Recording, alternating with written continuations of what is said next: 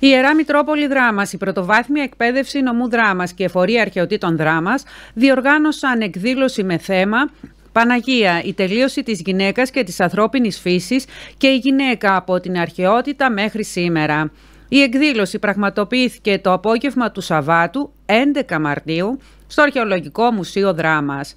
Ομιλητές στην εκδήλωση ήταν ο εδεσιμολογιότατος πρωτοπρεσβύτερος πατέρας Δημήτριος Αχθοφορίδης, προϊστάμενος του Ιερού Ναού Αγίων Αναργύρων Δράμας, ο οποίος ανέπτυξε ομιλία με θέμα «Η γυναίκα και η σωτηρία του κόσμου μας». Ο Διευθυντής της Πρωτοβάθμιας Εκπαίδευσης Νομού Δράμας Θανάσης Γιαλεκτόπουλος, ο οποίος στην ομιλία του αναφέρθηκε στη γυναίκα στην αρχαία Ελλάδα. Εξάλλου, ομιλία ανέπτυξε η αναπληρώτρια προϊσταμένη της εφορίας αρχαιοτήτων δράμας Βασιλική Πουλιούδη, η οποία αναφέρθηκε στο θέμα «Η γυναίκα μέσα από τα αρχαιολογικά ευρήματα του νομού δράμας».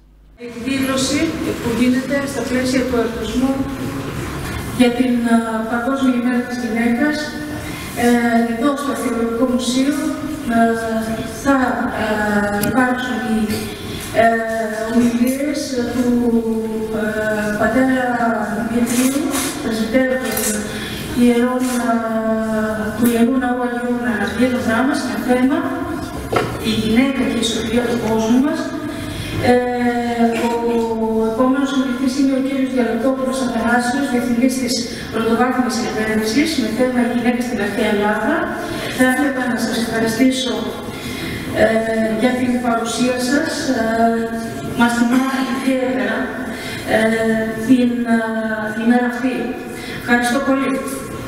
Καταρχάς, θέλω πριν από οτιδήποτε θρησκευτικό ή παπαδικό, αν θέλετε να το δεχτείτε, να τονίσω ότι συχνότατα αγνοούμε ή παρεμβολεύουμε την έννοια του πολιτισμού. Ο πολιτισμός λοιπόν είναι ό,τι δίνει νόημα στην καθημερινότητά μας, ό,τι δίνει νόημα στη ζωή μας.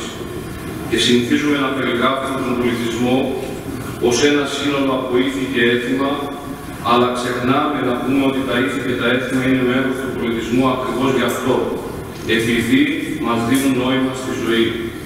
Και τι σημαίνει νόημα στη ζωή, σημαίνει ότι έχω την ευκαιρία να αισθανθώ μισός, λίγος, ελάχιστος, να νιώσω την ανάγκη να βρεθώ με πολλούς, με άλλους, έξω από μένα. Συγχωρέστε μου τη θρησκευτική μονομέρεια, αλλά και τον φιλοσοφικό στοχασμό που απορρέει από αυτήν. Θα αναφερθώ και θα ξεκινήσω από πολλές αφορμές που έλαβα εκτός θρησκευτικής ζωής. Παρόλο το ότι είμαι ιερέας και παρά το ότι η κυρία Πουλούδη με κάλεσε με αυτήν μου την ιδιότητα, εγώ συχνά νιώθω την ανάγκη να αγκαλιάσω και άλλους χώρους εκτός Εκκλησίας, χώρους πολιτισμού και στοχασμού. Ίσως γιατί πιστεύω ότι εμείς οι ιερείς οφείλουμε να βρισκόμαστε παντού, να μην ξεχωρίζουμε τίποτα από τα ουσιώδη και να τα αγκαλιάζουμε όλα. Μετά την όμορφη λειτουργία που ακούσαμε για την Παναγία στον πρότυπο γυναίκα, θέλω να μιλήσω για την ε, γυναίκα στην αρχαία Ελλάδα. Η Παναγία Ελλάδα ήταν αυτή η οποία μίλησε με τη σιωπή της και με το ήθος το οποίο μας είναι γνωστό μέσα από τα ελληνικά κείμενα. Εγώ λοιπόν θα μιλήσω για την γυναίκα στην αρχαία Ελλάδα και θα δούμε πως υπάρχουν πάρα πολλά κοινά σημεία από τον τρόπο που η γυναίκα στην αρχαία εποχή εξεδήλωνε τη φύση της ε, που όλα αυτά έχουν χαρακτήρα στις υπέρ μέρες μας. Ουσιαστικά στο θέμα το οποίο θα αναφερθώ είναι γάμος αλλά αρχαιοελληνικά. Θα δούμε δηλαδή τη γυναίκα πώς είδαμε μέσα σε αυτό ε, το φάσμα εν ώψη του γάμου. Πρέπει να πω ότι ο γάμος στην αρχαία Ελλάδα, σε όλες τις πόλεις κράτη, κατοχυρωνόταν με νόμο και έπαιζε πρωτεύοντα ρόλο στην κοινωνία, στα κάθε, στην κάθε κοινωνίας. Αν και δεν ήταν υποχρεωτικός, οι νέοι έπρεπε να παντρευτούν γιατί τους ασκούν κριτική ότι αν δεν είχαν παντρευτεί και ήταν έντονη η κριτική αυτή που ασκούνταν στους ε, άτομους και πολλές φορές ήταν θελοναστική.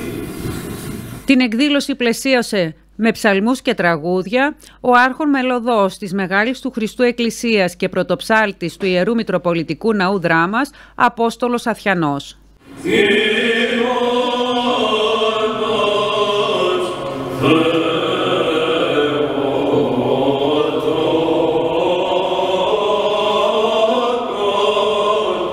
Santo.